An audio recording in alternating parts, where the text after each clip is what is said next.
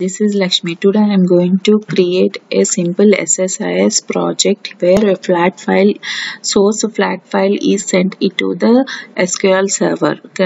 So here I am, I am going to create a new project. Here I am going to selecting the template as SSIS and there I am going to take integration services project. I am going to give the name as employee details employee details uh, project name. This is uh, where the project is uh, location of, of the where the project is um, saved. And this is a solution name also the same thing. So i am creating a new project. So this is how uh, it is created. So now it is created. First we'll go data flow this shows how the data is flowed so i'm i'm uh, selecting this and drag and dropping this. So here what does it do? Data flow task. If i double click here it will go into the data flow. Here whatever i'll do the double click on this the data flow will come. So here the data flow that like how the data should be flowed. These are the like what are the sources destination and transform if anything is required. See the sources. Now i have a i have the data in a flat file source. Means i have kept the data in a notepad with with the column names employee id employee name employee department and salary. And these are the data like the employee id 1234 and this is the name and the de department employee department and salary. So this is the data in the flat file data. So this data is transformed into the sql server.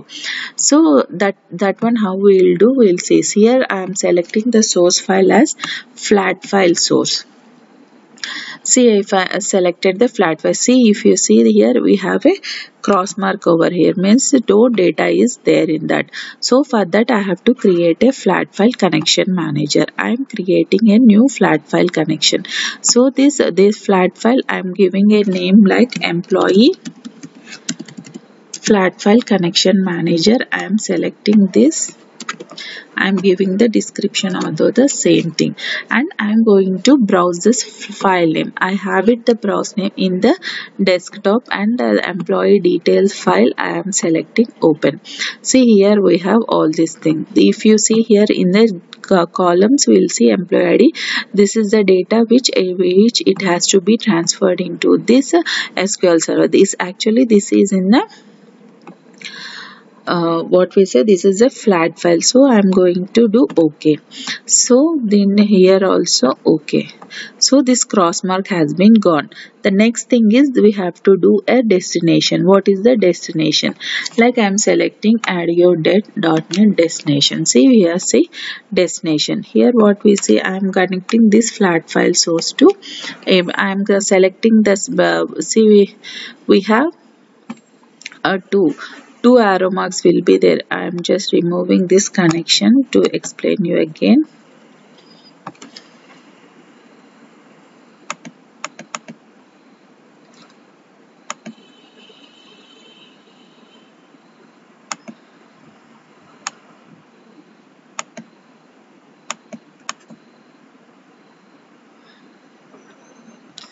so here I have deleted and this blue line is uh, connected to this one destination.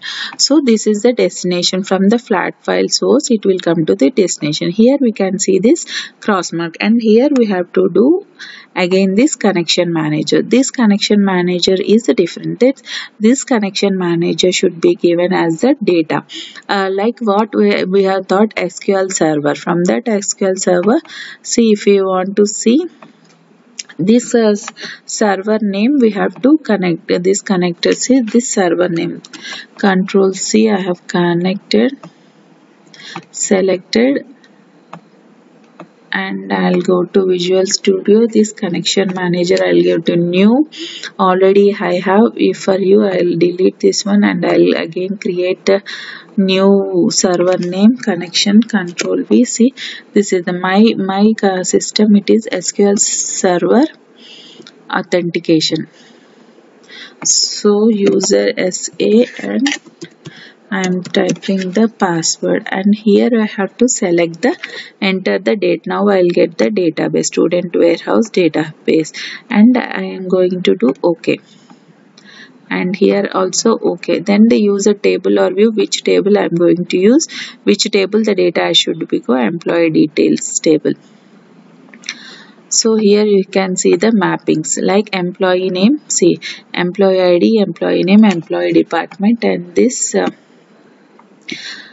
for which one we want salary is employee salary. This is the mapping means this is the source file. This is the destination file. So if you see an sql server i have a table like sql employee details table but i don't have any data. See if you see this the student warehouse database this is the table like employee details table employee id primary key employee name employee department and employee salary. These are the four columns which we have here.